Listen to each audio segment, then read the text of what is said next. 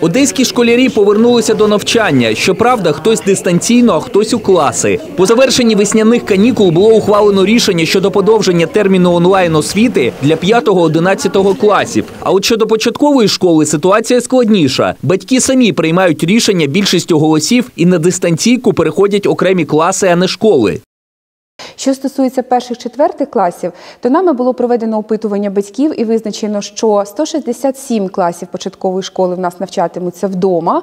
За вибором батьків це 5555 одеських дітей. Крім того, е, школа номер 100 прийняла рішення і повністю всі перші четверті класи займаються дистанційно.